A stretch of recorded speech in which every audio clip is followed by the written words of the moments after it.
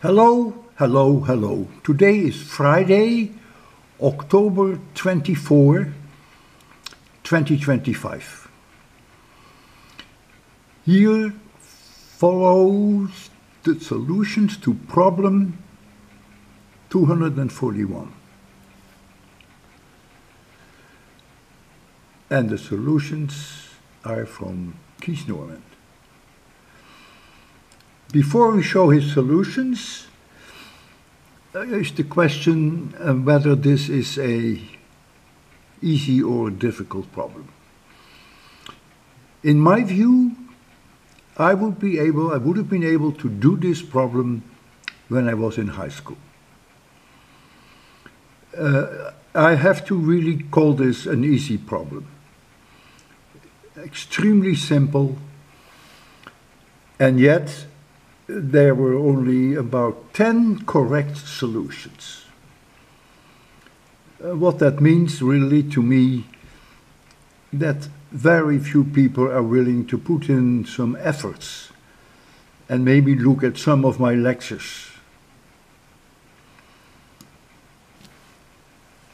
Keith writes here, for anyone finding this difficult, I suggest Walter Lewin 801 Lecture 3 and Walter Lewin 802 Lecture 1. And then he adds, I assume there is no fringe E field at the boundaries of the plates. The curved path is parabolic, so f equals ma there is no relativistic correction. So there you see f in the y direction is m times a.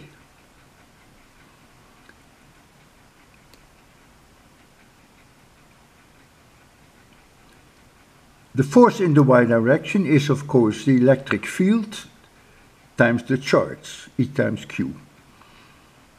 But electric field is the potential difference divided by the distance d. And so eliminating Fy, he finds then that this is the acceleration in the y direction. Since there is no force in the x direction, the speed Vx is constant. Time taken to pass through the E field is therefore L divided by Vx, because Vx is constant. So part A then is easy. On leaving the field, Vy is constant until reaching the screen. And there you see Vy that is A, this A, times T2, which is this T2. And there you see the answer.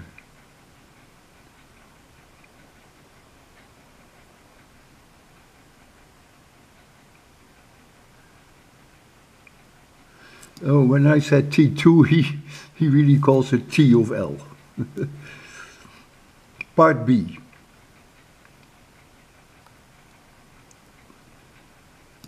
The time taken to pass through the linear portion, and he calls that t, capital D, is d over Vx.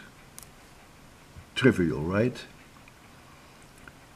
Total y deflection is the sum of the deflections due to the two regions.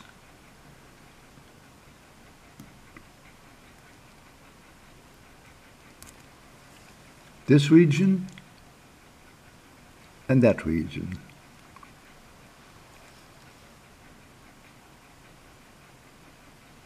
And there you see the sum of the two.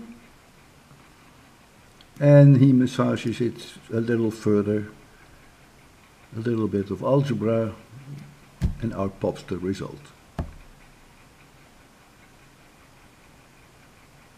No one can really argue that this was a difficult problem. And would this be uh, covered first year college? That's possible, of course. Would it be covered in most high schools? Definitely, no doubt in my mind. All right.